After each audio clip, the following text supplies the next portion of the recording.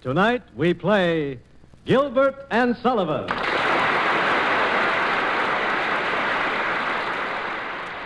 We shall give you some of England's most proud, most brave, and sometimes most bravura heroes and heroines of comic opera. Tonight we play Gilbert and Sullivan's romance of maids and jesters, headsmen and stolen keys, the yeoman of the guard, or the merry man and his maid. And the cast, everyone a Savoyard of distinction, Jack Point, the strolling jester, out of a job, Mr. Florenz Ames. Elsie, his dancing companion, Miss Muriel Wilson. Colonel Fairfax, the handsome sorcerer, Fred Huffsmith. Sergeant Meryll of the Yeoman of the Guard, Mr. Paul Reid. Phoebe, his sentimental and slightly brainless daughter, Miss Celia Brands. The Lieutenant of London Tower, Mr. Hugh Thompson. And Dame Carruthers, buxom housekeeper, Miss Veronica Wiggens. But now, it's curtain time. Maestro Stopak enters the orchestra pit, raps for attention, and is about to conduct the overture to Gilbert and Sullivan's Yeoman of the Guard.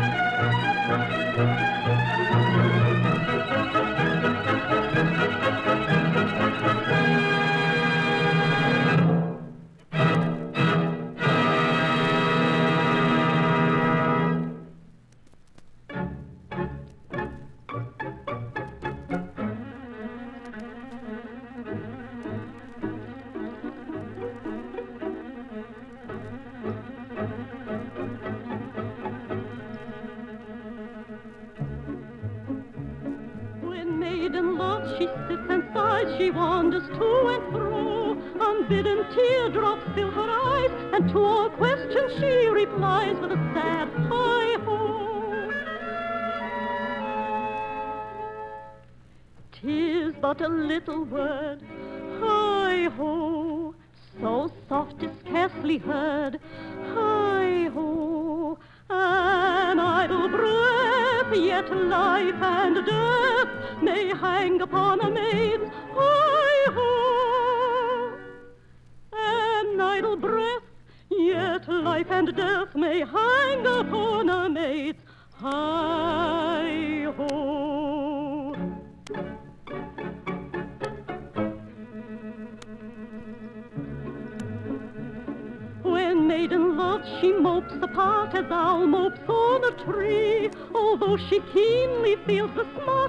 cannot tell what ails her heart? With her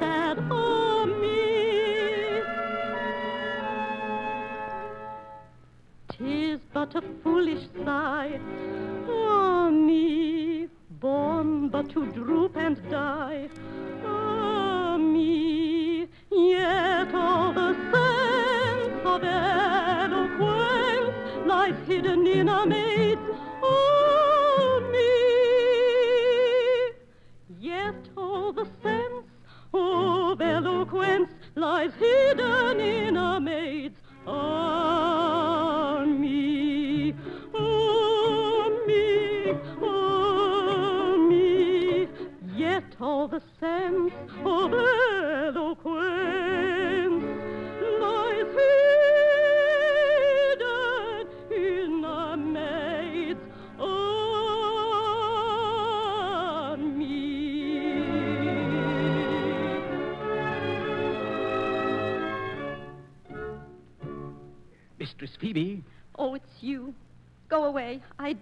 like you.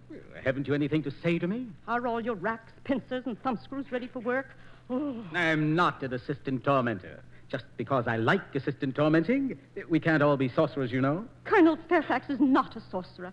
He's a man of science and an alchemist, and a very handsome young gentleman. well, he won't be for long, for he's to be beheaded this evening and at half past seven. Why, I believe you're jealous of him, poor man. I don't believe I want to hear any more of you or your words. Thank you.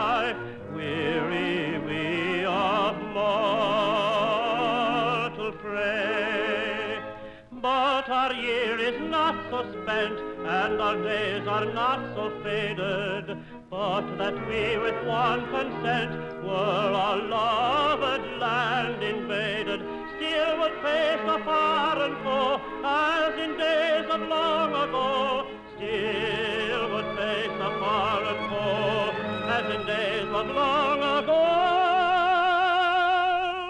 as in days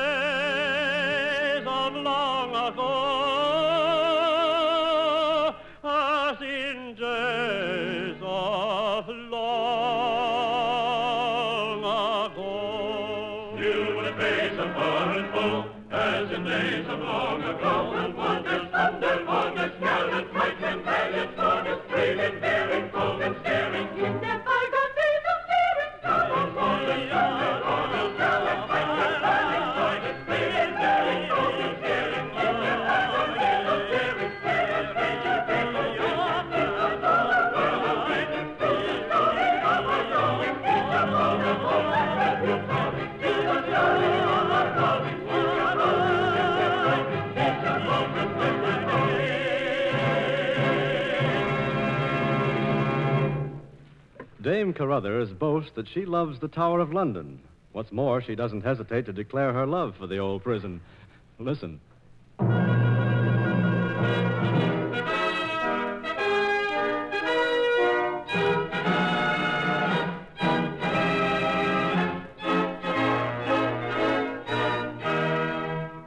When our gallant Norman foes made our very land their own, and the Saxons from the conqueror were flying, at his bidding it arose in a panoply of stone, a sentinel living and undying. Insensible, I trow, as a sentinel should be, though a queen to save her head should come a-suing. There's a legend on his brow that is eloquent to me, and it tells of a duty done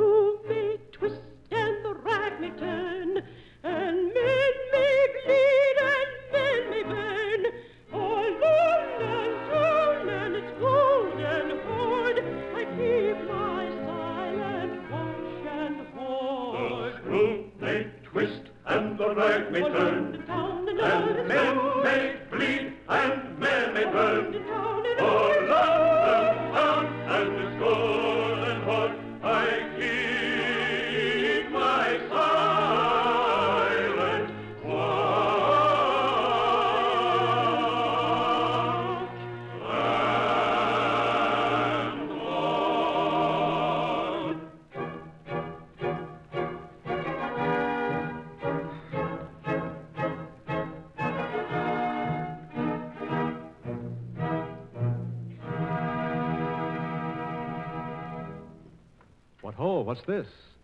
Phoebe and her father, the sergeant. And Phoebe in tears. Be of good cheer, lass. We may save your colonel yet.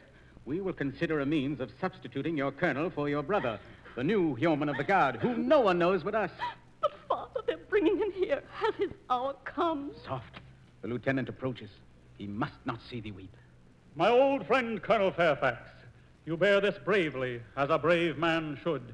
Why, sir, it is no light boon to die swiftly and surely.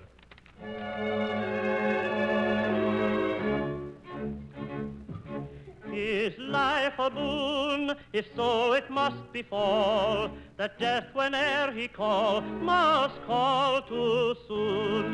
Though fourscore years he give, yet one would pray to live another moon. What kind of plaint have I who perish in July, who perish in July?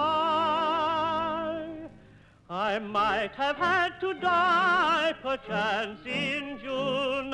I might have had to die, perchance in June.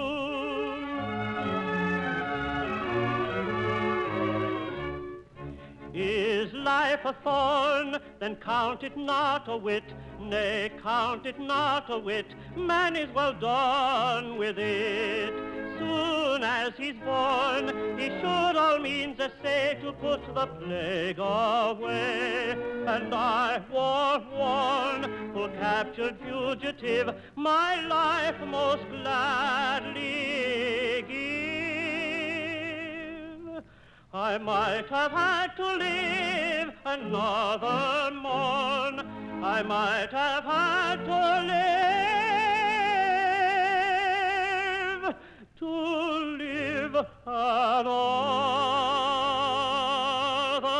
morn.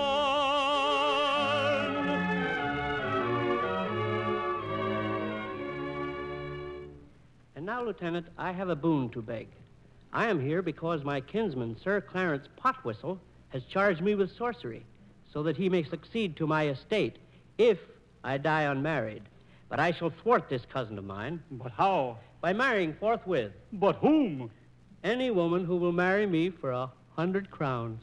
Very well, sir. We will see what can be done. Till then, farewell. Come, good guardsman, take me away. Now, how to find him a bride at such short notice? Well, the task should be easy. Oh, my, oh, my, my, my masters, my masters bear with us. My Elsie and I, her jester, Jack Point. Let us give them the singing farce of the merry man and his maid. Aye, the merryman and his maid.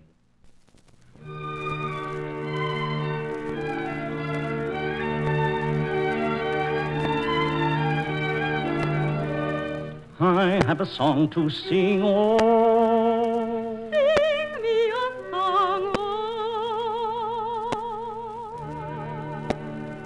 It is sung to the moon by a lovelorn loon who fled from the mocking throng. Oh, it's a song of the merryman moping mum whose soul was sad and whose glance was glum, who sipped no sup and who craved no crumb as he sighed for the love of a lady. Heidi, Heidi, misery me, lack-a-day-dee. He sipped no sup and he craved no crumb as he sighed for the love of a lady. I have a song to sing, song. Oh.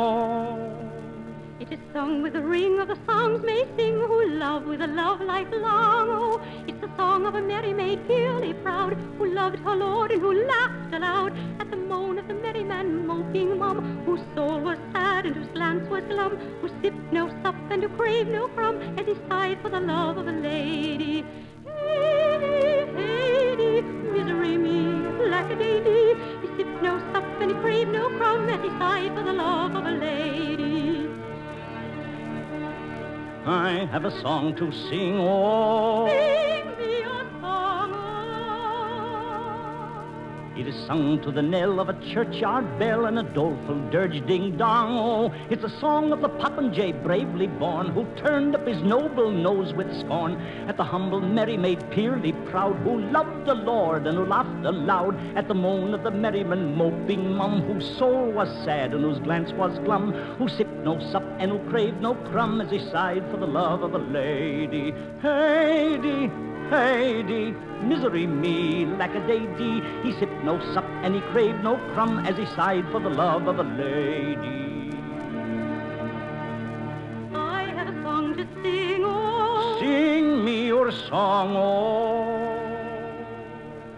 his song with a sigh and a tear in the eye, for it tells of a right and wrong. Oh, it's the song of a merry maid once so gay, who turned on a heel and tripped away from the peacock popinjay Jay bravely born, who turned up his noble nose with scorn at the humble heart that he did not prize. So she begged on her knees with downcast eyes for the love of a merry man, moping mum, whose soul was sad and whose glance was glum, who sipped no sup and who craved no crumb as he sighed for the love of a lady.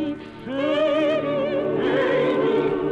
me, his signed, for in the love of a lady.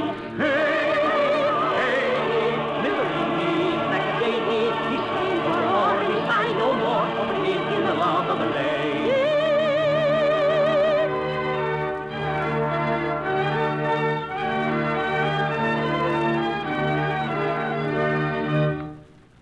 Hockey. Girl, are ye two married? Oh, oh, no, sir. Although I am a fool, there is a limit to my folly. Well then, my lass, wouldst thou earn an hundred crowns? An hundred crowns? Listen, a worthy but unhappy gentleman will lose his head in one hour on this very spot. Hmm. He hath asked me to find him a wife. Wilt thou be that wife? For an hundred crowns? I consent. It is for Elsie to speak. How say you, maid, and will you wed a man about to lose his head? For half an hour you'll be a wife, and then the town is yours for life. A headless bridegroom, why refuse? If truth the poets tell, most bridegrooms ere they marry lose both head and heart as well. A strange proposal you reveal, it almost makes my senses reel. A love I'm very poor indeed, and such and some I sorely need. My mother, sir, is life to die, this money life may bring. Bear this in mind, I pray, if I consent to do this thing. Though, as a general rule of life, I don't allow my promised wife, my lovely bride that is to be, to marry anyone but me. Yet if the fee is promptly paid and he in well-earned grave within the hour is duly laid, objection I will waive. Yes, objection I will waive. Temptation, no temptation, will be a are intended To shun whatever station your fascination splendid Or fall whene'er we view you, head over heels into you Head over heels, head over heels, head over heels into you Head over heels, head over heels, head over heels, head over heels, head over heels, head over heels Head over heels, head over heels, head over heels, head over heels, head over heels, head over heels, head over heels, head over over over over over over over over over Temptation, oh, temptation.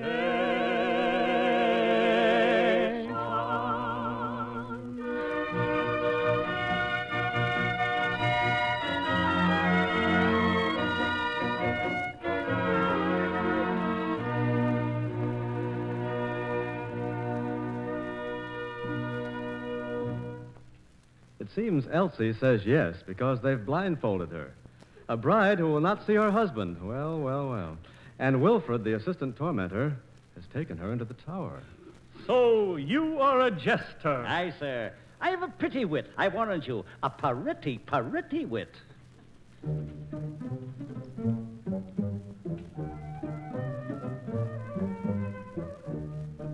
I've jibe and joke, and quip and crank, for lowly folk and men of rank. I ply my craft, and know no fear, but aim my shaft at prince or peer, at peer or prince, at prince or peer. I aim my shaft and know no fear.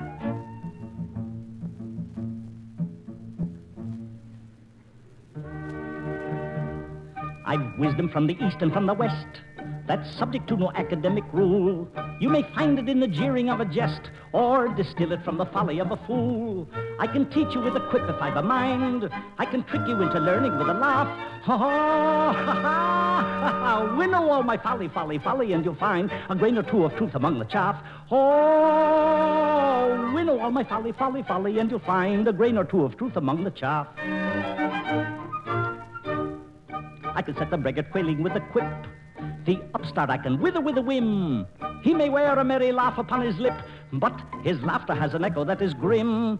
When they're offered to the world in merry guise, unpleasant truths are swallowed with a will. For ha, ha, he who'd make his fellow, fellow, fellow creatures wise should always gild the philosophic bill. For he who'd make his fellow, fellow, fellow creatures wise should always gild the philosophic bill.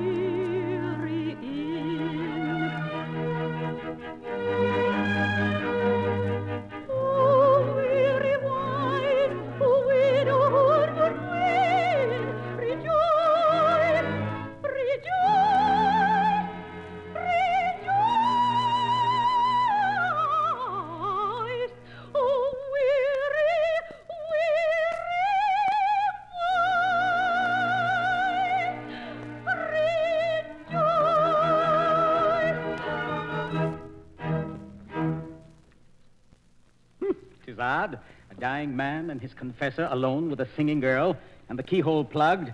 My keyhole. Wilfred, and alone. Now to get the keys to Colonel Fairfax's cell from him. Oh, Wilfred, has no reprieve arrived? None, Phoebe. Thine adored Fairfax is to die. Wilfred, speak not that way. He is nothing to me. Now thou art clever beyond all telling. Look out, Wilfred. She's after those keys. You are a wit, a humorist, a most philosophic commentator. Uh-oh. She got him. Master Wilfred, thine anecdotes of the torture chamber are the prettiest hearing. He's giving her a long look in her eyes while she's slipping the keys to her father. Were I only your bride. Aye. Wert thou my bride? Oh, how I would love thee. Were I thy bride, then all the world beside were not too wide to hold my wealth of love. Were I thy bride, upon thy breast my loving head would rest as on her nest the tender turtle dove. Were I thy bride, this heart of mine would be one heart with thine, and in that shrine our happiness would dwell. Were I thy bride, and all day long our life should be a song, no grief, no wrong should make my heart rebel. Were I thy bride, the silvery flute, the melancholy lute, where night owls hoot to my low whispered coo.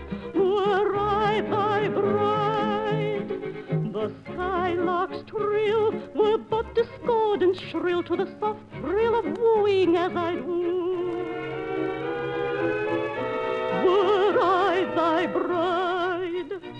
Sergeant Meryll is back. He's given the keys to Phoebe, who's put them on Wilfred's belt. The deed is done. The roses sigh, were as a carrion's cry to lullaby such as I sing to thee. Were I thy bride, a feather's press were leaden heaviness to my caress. But then, of course, you see, I'm not thy bride. Colonel Fairfax, the disguise is good. You're a perfect yeoman in my son's uniform. You run a great risk for me, Sergeant Meryll.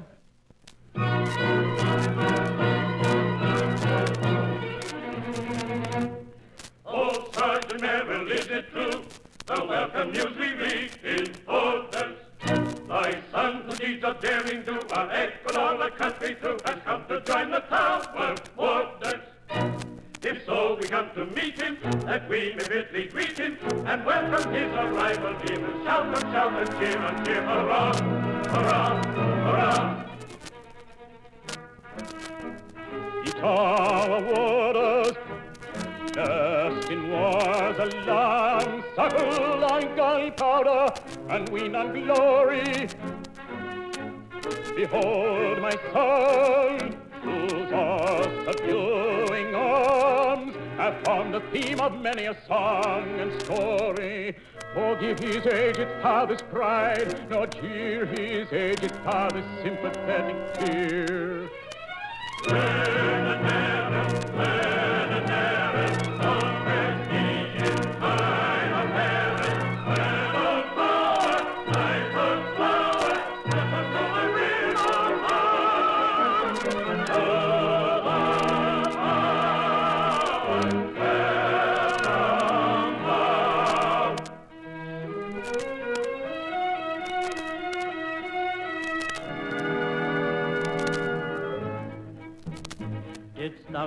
Leonard Meryll, standard lost in last campaign, rescue it at deadly peril, bear it safely back again? Leonard Meryll, Leonard Meryll, bore it safely back again. Didst thou not, when prisoner taken and debarred from all escape, face with gallant heart unshaken, death in most appalling shape? Leonard Meryll, Leonard Meryll, death in most appalling shape.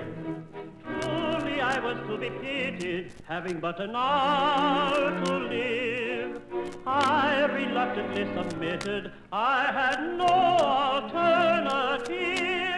Ah, the tales that are narrated of my deeds of daring do have been much exaggerated, very much exaggerated. Scarce a word of them is true. Scarce a word exaggerated, not at all exaggerated, could not be exaggerated. Every word of them is true.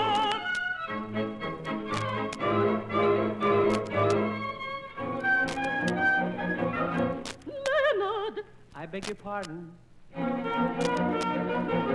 don't you know me? I'm little Phoebe.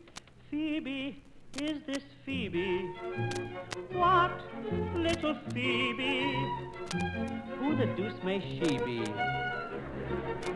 It can't be Phoebe, surely. Yes, 'tis Phoebe. Your sister Phoebe, your own little sister. The truth.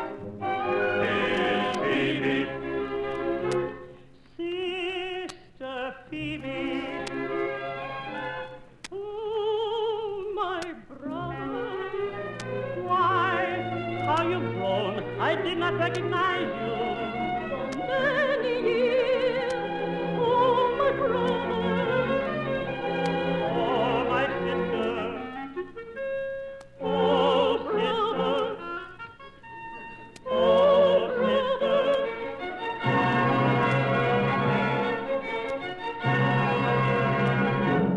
I hug him, girl.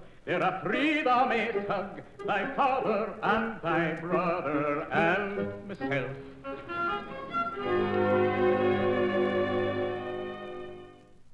A care, thy sister I commend. From every lurking snare, thy lovely cause defend. And to achieve this end, oh grant I pray this boon, oh grant shall not quit thy sight from morn to afternoon, from afternoon to night, from seven o'clock to two, from two to eventide, from dim twilight to eleven at night, from dim twilight to eleven at night. She shall not quit thy side. From morn to afternoon, from afternoon to eleven at night, she shall not quit thy side.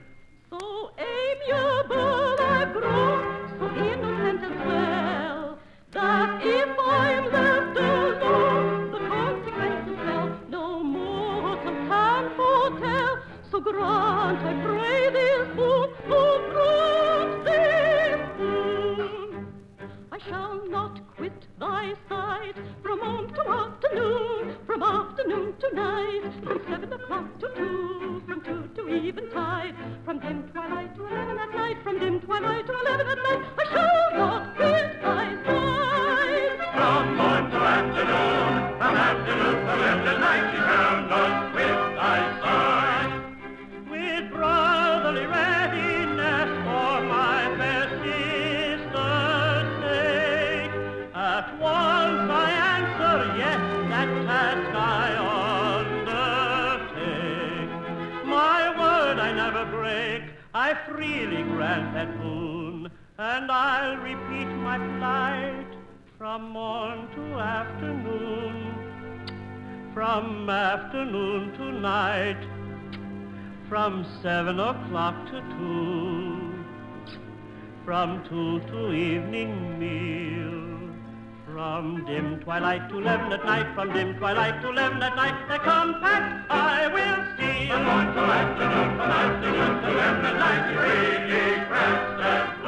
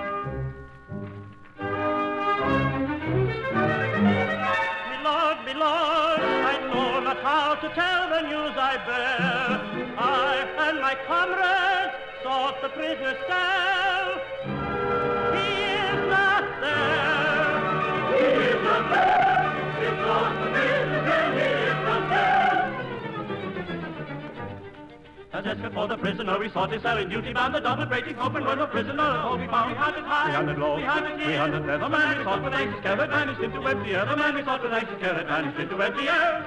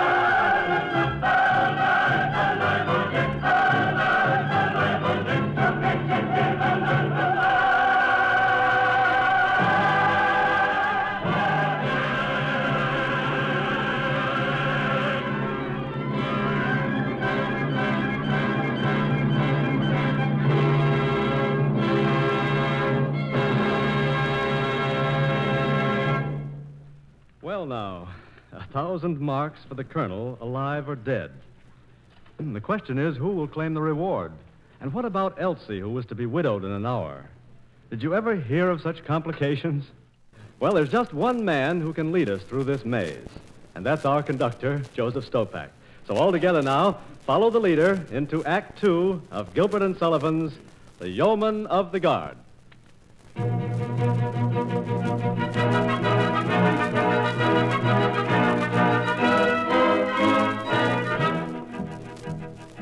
Or Private Buffoon is a light-hearted loon if you listen to popular rumor. From the morn to the night, he's so joyous and bright, and he bubbles with wit and good humor. He's so quaint and so terse, both in prose and in verse, yet though people forgive his transgression, there are one or two rules that all family fools must observe if they love their profession. There are one or two rules, half a dozen maybe, that all family fools of whatever degree must observe if they love their profession. If you wish to succeed as a jester, you'll need to consider each person's auricular. What is all right for B would quite scandalize C, for C is so very particular. And D may be dull, and E's very thick skull is as empty of brains as a ladle. And F is F sharp, and will cry with a carp that he's known your best joke from his cradle. When you're humored, they flout, you can't let yourself go, and it does put you out when a person says, Oh, I have known that old joke from my cradle. If your master is surly from getting up early and tempers are short in the morning, an inopportune joke is enough to provoke him to give you at once a month's warning. And if you refrain, he is at you again, for he likes to get value for money. He'll ask then and there, with an insolent stare, if you know that you're paid to be funny. It adds to the task of a merryman's place when your principal asks with a scowl on his face, if you know that you're paid to be funny.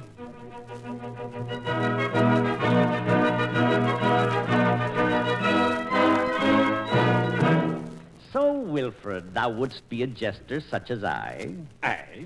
And now listen. My sweetheart, Elsie, married Colonel Fairfax, but he escaped, and I am the saddest dog in England. But if thou wilt fire an arquebus into the night and swear thou shot the colonel, I will teach thee all my original riddles, all my own original jokes. More than that, I will show you where I got them. Now, what sayest thou? Thou wouldst have me lie? Uh, why, that's simple enough. And uh, a cheap bargain. So, the two scalawags are up to tricks, are they? This is a fine business, I must say. But soft. Fairfax, still disguised as a yeoman. Poor fellow, free from prison and uh, jailed in wedlock.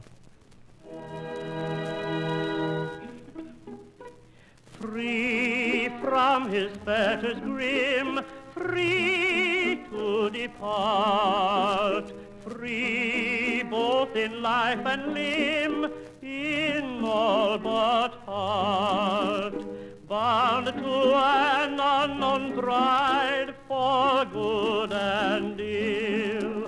Ah, is not one so tied, a prisoner still, a prisoner still? Is not one so tired, a prisoner still?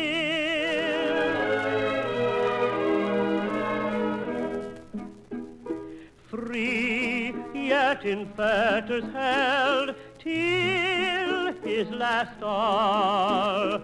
Giles that no smith can weld, no rust devour. Although a monarch's hand had set him free, of all the captive band, the saddest he, the saddest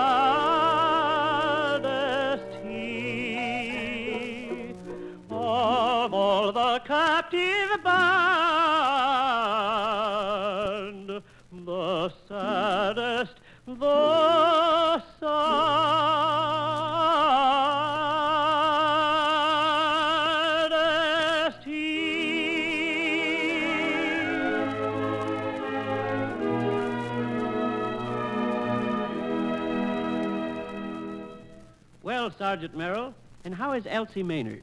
Well enough, thanks to Dame Carruthers' fine nursing. Otherwise, a pox on the old witch. She's after me to marry her. Well, here she comes after you again. Sergeant, Sergeant, wait.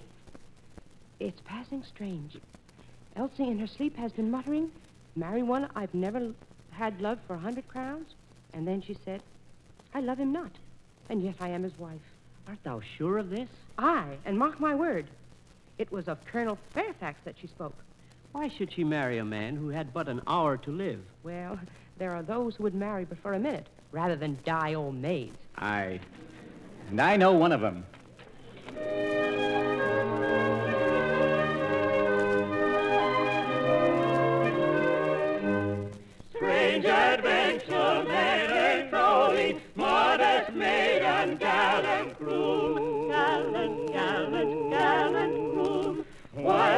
Funeral bell is tolling, tolling, tolling, bim a boom, bim a, bim a, bim a boom. Modest maiden will not tarry, though but sixteen years she carry. She must marry, she must marry, for the altar be a tomb. Tower,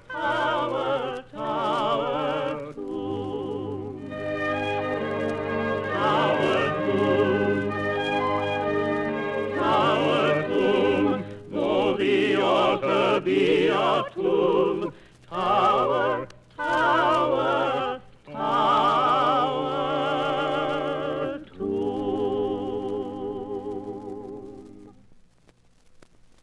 So my bride is Elsie. The blindfold covered her face, and I did not know. I shall test her. She thinks I am Leonard Meryll in this costume. Mistress Elsie? Master Leonard. Elsie, I have loved thee these two days since I've been here. Master Leonard, thou art jesting. Sir, I am not free. I, uh, I am a wife. Thou? A wife? Whose? Oh, sir, keep my secret. He is Colonel Fairfax, whom I have never seen. A fig for Fairfax. Fly with me, Elsie. For shame, Master Leonard. I am wed even though I do not know my husband. I have a duty, sir. Shame upon thee.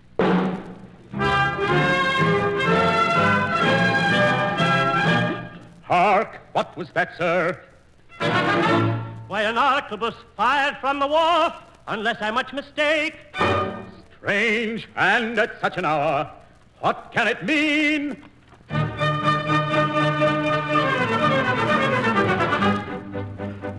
Like a ghost is vigil keeping. Or a spectre all appalling. I beheld a figure creeping. I should rather call it crawling. He was creeping. He was crawling. He was creeping, creeping. crawling. He was creeping. He was crawling. He was creeping, creeping. Not a moment's hesitation, I myself upon him flung. With a hurried exclamation to his draperies I hung. And we closed with one another in a rough and tumble smother. Colonel Fairfax, and no other was the man to whom I clung. After mighty tug and tussle, It resembled more a struggle. he by dint of stronger muscle, Or by some infernal juggle. from a clutch as quickly sliding. I should rather call it slipping. with a view no doubt of hiding. Or escaping through the shipping. with a and with a flitter. I describe it as a shiver. Down he dived into the river, and alas, I cannot swim.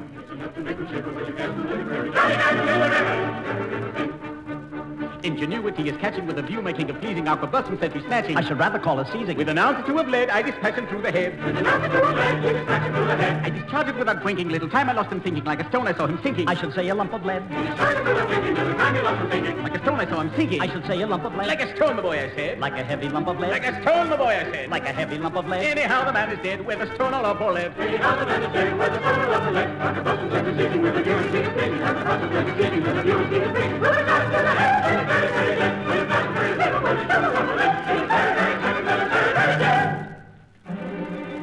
A river must be dragged, no time be lost.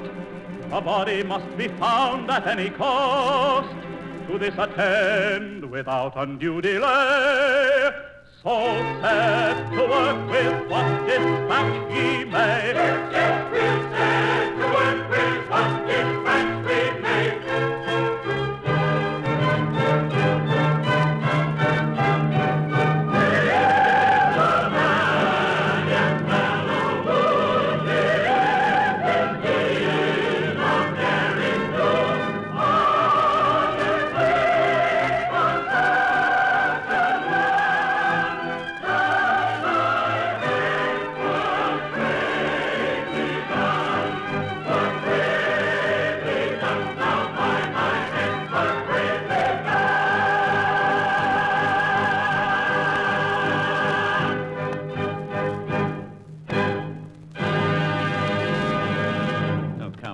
Not, Elsie. Forget him. Now thou art free to choose again. Behold me. I can jest you, riddle you. Tush, man. Know you not how to woo a maid?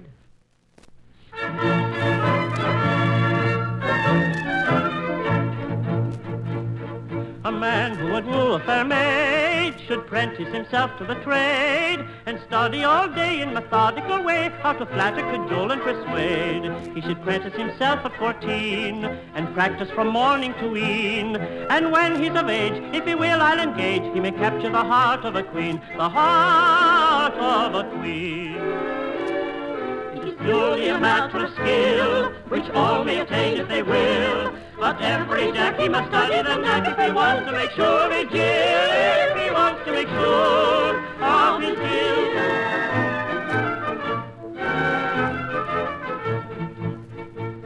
If he's made the best use of his time, his tweet is so carefully live that every bird will come down at his word, whatever his bloom he shall climb. He the thrill of touch may mean little or nothing or much.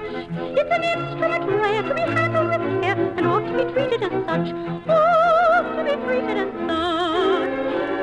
It is purely a matter of skill, which all may attain if they will. But every Jackie must study the knack if he wants to make sure he Jill, if he wants to make sure of his Jill.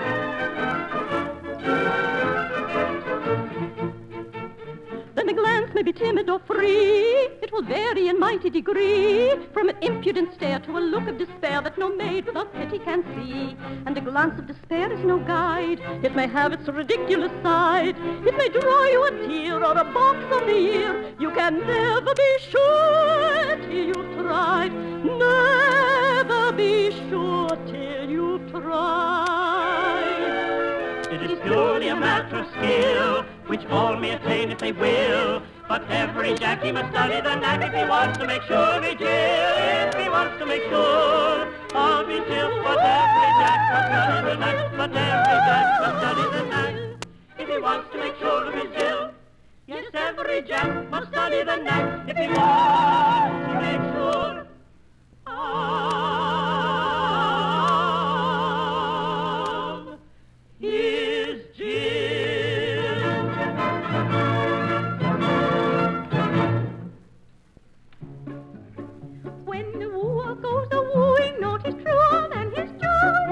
hushing all his suing, boldly blushing, bravely coy, bravely coy, boldly blushing. Oh, the happy days of doing. Oh, the happy days of doing, oh, the sighing and the suing, when the wooer goes a wooing, oh, the sweets that never cloy. When the brother leaves his sister for sister weeps, tears that trickle, tears that blister, tears but mickle sister reaps, tears that trickle, tears that blister. Oh, the doing and undoing. Oh, the doing and undoing. Oh, the sighing and the suing. When a brother goes a wooing and the sobbing sister weeps.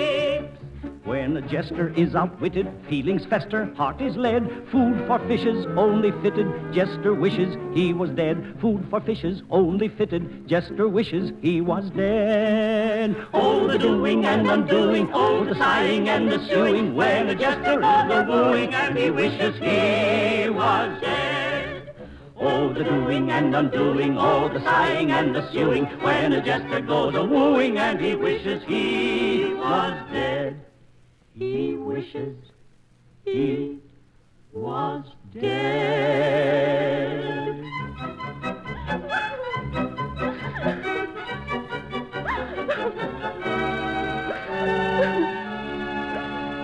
Big again, Phoebe?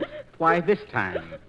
Why, thou hast often wept for jealousy, Wilfred. Thou art jealous? For me? Not of you, but of the man who is to marry Elsie Maynard. But he is thy brother. Nay, he is Colonel Fairfax. Oh, what have I said? If it were Fairfax. I have forgotten. Thou hast shot Fairfax. So be content with that, and I will be thy wife. My beloved. Even brutes must marry. Ugh. Hast heard the news? Colonel Fairfax's reprieve was signed two days ago, and his cousin Poltwhistle held it up. Call the yeoman, call Elsie, everyone. This is the joy day unalloyed.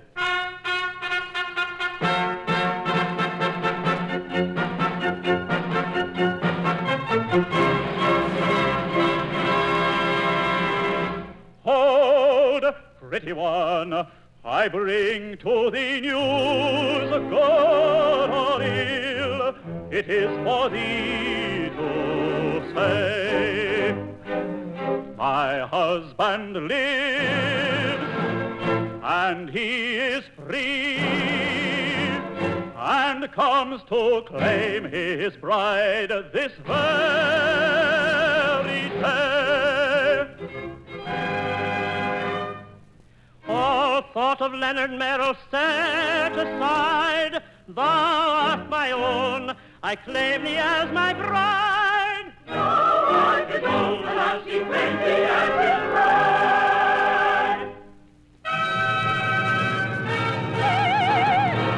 My own. With happiness my soul is cloyed. This is a joy day unalloyed. Yes, yes,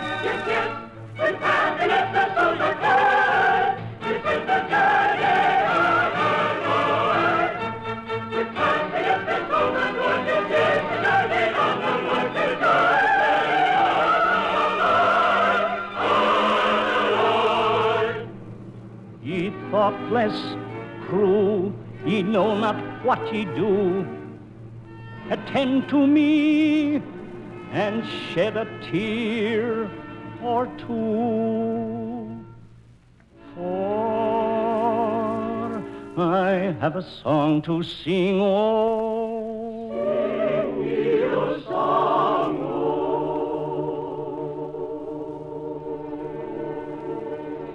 It is sung to the moon by a lovelorn loon who fled from the mocking throng. Oh, it's a song of the merryman moping mum whose soul was sad and whose glance was glum, who sipped no sup and who craved no crumb as he sighed for the love of a lady. Heidi, Heidi, misery meal like a lady.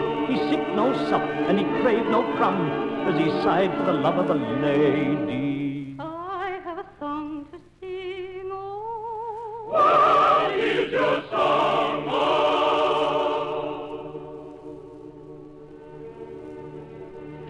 It is sung with a ring of the songs may sing who love with a love lifelong. Oh, it's the song of a merry maid nestling near who loved her lord but who dropped a tear at the moan of the merry man moping mum whose soul was sad and whose glance was glum who sipped no sup and who craved no crumb as he sighed for the love of a lady.